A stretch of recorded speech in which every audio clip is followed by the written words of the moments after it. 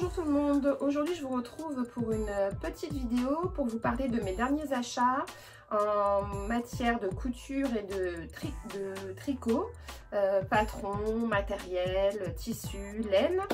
Euh, je suis Anne-Gaëlle, bienvenue dans mon atelier, c'est parti!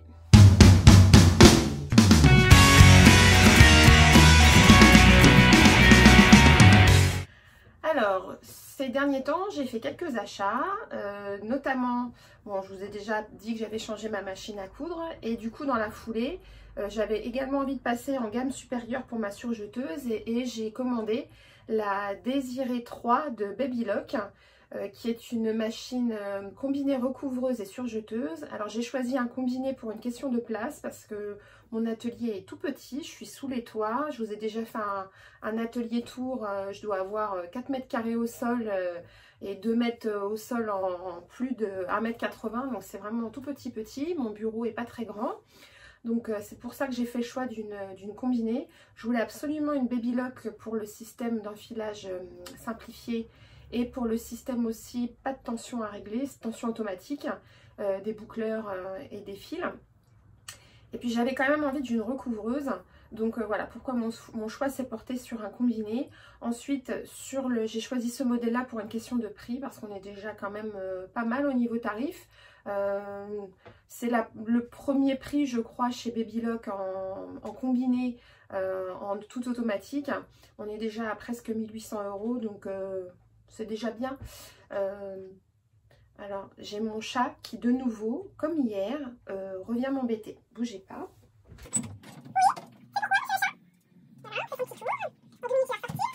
Donc euh, voilà, alors la Désirée 3 ou Désir 3, je sais pas comment on dit, porte bien son nom, hein, puisque ça fait trois semaines que je l'ai commandé et euh, je l'ai toujours pas reçu. Je l'ai précommandé. Donc bon, j'ai appelé le, le, le, site, donc je les ai commandés sur les machines à coudre de Patricia elles doivent arriver là, euh, elles devaient arriver là fin de semaine, euh, dernière semaine d'avril. Donc j'espère la recevoir euh, la semaine prochaine. T'as fini ton tour Bisous, bisous. Voilà. En fait, ce qu'il veut, c'est des câlins. J'ai un chat qui est réglé comme du papier à musique il y a des heures. Voilà, il y a l'heure de pour manger, l'heure pour les câlins. On ne doit pas être loin de l'heure du câlin. Il attendra. Euh, j'espère la recevoir la semaine prochaine. J'ai plein de projets en, jersey à coudre. Euh, je voudrais attaquer ma série de robes là et j'attends d'avoir la machine pour attaquer. Donc euh, j'espère qu'elle va arriver cette Désir 3. Ensuite en matériel de couture j'ai acheté un petit ciseau comme ça. Un petit ciseau Prime de chez... Celui-là vient de chez Prime. C'est un ciseau qui est particulièrement adapté pour coudre la lingerie. Anne Le Chat en parle aussi dans, un de ses derniers podcasts. En fait, la partie renflée, là, euh, bec de pélican, permet de d'araser les tissus. Euh, là, en l'occurrence, vous voyez, j'ai ma culotte, euh, que je vous ai montré hier. J'ai pas bien coupé ici, là. En fait, quand vous cousez, vous cousez les élastiques en deux temps pour la lingerie. Quand vous avez cousu cousu, cousu. Quand vous avez cousu le premier temps, ensuite il faut couper le tissu euh, qui dépasse de l'élastique avant de le rabattre sur l'intérieur et de coudre à l'intérieur. Là, vous voyez, je ne l'ai pas fait et j'ai du tissu qui dépasse sur l'intérieur. Donc en fait, ce petit ciseau magique permet de coudre, de couper comme ça, sans attraper le tissu derrière. Vous voyez que j'arrive à le faire sans regarder sans attraper le tissu derrière. Et donc, bah, sans, faire d'accident et de couper, euh, de couper derrière. Donc, c'est vraiment super pratique. En plus, il coupe super bien. Donc, voilà. je ne sais plus combien je l'ai payé. Euh, peut-être une dizaine d'euros. Je l'ai acheté sur Amazon. Euh, donc ça, c'est vraiment indispensable quand on fait de la lingerie. Cette euh, partie renflée n'a l'air de rien, mais c'est quand même super pratique. Hein. Euh, donc voilà, ce petit ustensile. Ensuite, je me suis commandé un nouveau découvite aussi, que j'ai déjà perdu. donc j'ai commandé un prime parce que pareil, quand j'ai reçu ma nouvelle machine à coudre, elle est livrée avec un tout petit découvite. Et euh, bah, je m'en suis servi. Et là, je me suis rendu compte qu'en fait, les miens, les vieux trucs là, j'ai un vieux machin là, et bah, je me suis rendu compte qu'en fait, ils coupaient que dalle. C'est-à-dire que mon nouveau découvis livré avec ma, machine, qui est tout petit, et ben quand je le passe pour euh, couper ma couture, il coupe comme une lame de rasoir. Alors que celui-là, il faut que j'insiste, j'insiste. Donc je me suis rendu compte qu'ils étaient vraiment HS. Et ça, ils sont super, mais euh, moi, j'aime pas les petits manches, quoi. Je trouve que c'est pas pratique, j'ai du mal à, les manipuler. J'ai euh, assez vite mal dans les mains. Donc j'en ai commandé un chez Prime. Je vous montre ça en photo. Voilà en couture euh, ce que j'ai acheté en matériel de couture. Ensuite, je me suis acheté des magazines. Je me suis abonnée à Octobre parce que du coup, en me remettant un peu, en me replongeant dans, mes Octobre, bon, je le savais déjà, mais je me suis rendu compte, j'ai été convaincue par Octobre en fait. Je trouve qu'ils ont vraiment des modèles sympas, des jolies coupes. C'est quand même assez, comment dire, pas, sophistiqué, c'est pas le mot que je veux dire, mais c'est pas de la couture basique quoi. Il y a, des jolis détails, des jolies finitions. Donc euh, j'ai voulu m'abonner à Octobre euh, parce que j'ai du mal à les trouver en magasin. Surtout que moi, par chez moi, y a, comme partout, il y a de moins en moins de librairies. Euh, c'est en supermarché, il y a des rayons librairie et j'ai du mal à les trouver. Donc je me suis abonnée. Je me suis abonnée lundi dernier, je crois, donc il y a une semaine, et j'ai reçu le premier numéro trois jours après, donc ultra rapide. Donc c'est ce numéro-là. Malheureusement, je suis extrêmement déçue par ce, numéro. Il n'y a pas grand chose qui me plaît là-dedans. Voilà. Comme souvent, hein, de toute façon, c'est le cas de, beaucoup de magazines. Euh, vous prenez les anciens magazines, vous vous rendez compte qu'il y a beaucoup de modèles identiques. Bon, bah là, c'est le cas. Hein, euh, genre, le, la veste zippée, là, elle ressemble beaucoup à celle que j'ai déjà faite, qui est issue d'un magazine plus ancien. Euh, bon, là, c'est pareil. Vous avez une, veste chemise c'est un modèle assez classique qu'on a retrouvé déjà ailleurs. Euh, là, vous avez des robes grande taille. Enfin, elles vont du 34 au 52. Franchement, c'est moche. Je les modèles de présentation. Euh, excusez-moi, mais euh, c'est quand même pas très vendeur. Hein. Moi, je suis désolée, mais c'est pas parce qu'on a des formes qu'on doit s'habiller comme un sac. Et là, franchement, c'est un sac, quoi. Celle-là, le tissu est très joli. Mais franchement, la coupe, euh, c'est vraiment pas flatteur. Après, c'est sûr pour l'été, c'est agréable. Alors par contre, ça, j'aime bien. Je trouve ça très frais. Mais bon, c'est du classique. Hein. C'est un t-shirt col V. Euh, j'en fais déjà, quoi. Donc, c'est pas un magazine qui va m'apporter grand-chose. Alors, il y a quand même un truc. Il y a une tenue de yoga avec le legging et la brassière. Ça, je pense que je vais peut-être essayer la brassière. Ça se peut. Donc là, la fameuse veste zippée euh, bah, qui ressemble étrangement à celle que j'ai déjà fait. Franchement, on dirait vraiment un copier-coller avec les, coupes princesse, la capuche. Euh, enfin voilà. Ah, il n'y a, vraiment rien de foufou dans ce numéro. Hein. Vous voyez là, c'est des lignes très droites. Euh, euh, rien d'ajuster, rien de cintré. Euh. Donc là, c'est la, déception. Je pense pas que je vais faire grand-chose dans ce, dans ce magazine. Euh, non, il n'y a rien qui me qui m'emballe. Donc bon, c'est pas grave, c'est fait. De toute façon, j'ai pris un abonnement. Sur un an, j'ai pas pris de reconduction. Ou si j'ai peut-être pris la reconduction tacite, mais en même temps, il n'y a que deux magazines par an. Donc ça va, on n'est pas envahi quoi. Donc voilà pour ça. Ensuite, j'ai commandé le dernier hors-série euh, Modes et Travaux en collaboration avec euh, My Super Bison parce que c'est une marque que je ne connais pas et euh, j'avais entendu parler donc de ce bon plan grâce à euh, Popo qu'on voit beaucoup sur Instagram et sur YouTube. donc je l'ai commandé, on verra bien. je serai peut-être plus satisfaite qu'avec le octobre. donc voilà. Ensuite en achat patron, euh, hier, je me suis baladée sur Makerist. Je ne vais jamais sur Makerist, sauf quand ils font leur promo à 2 euros. Et là, euh, je ne sais pas pourquoi, hier, j'y suis allée. Et j'ai commandé trois patrons. Donc, j'ai commandé un pull femme avec empiècement, le Miss Cactus, que j'ai payé, je ne sais plus, pas cher. Euh, j'ai commandé le top Farah de Sophie Denis, qui était en promo à 1,50€. Alors déjà, en temps normal, à 3 euros, il n'est pas cher. Mais alors là, 1,50€, euh, je l'ai pris. Et j'ai commandé le maillot de bain Clovis de Atelier Guillemette. Donc les trois articles, j'en ai eu pour 11,25€. Donc le, le Miss Cactus, là, depuis l'empiècement, j'ai l'intention de m'en faire un, une version avec le, donc, le corps en, jersey de coton fuchsia et l'empiècement avec un, un, wax que j'ai dans mon stock depuis longtemps.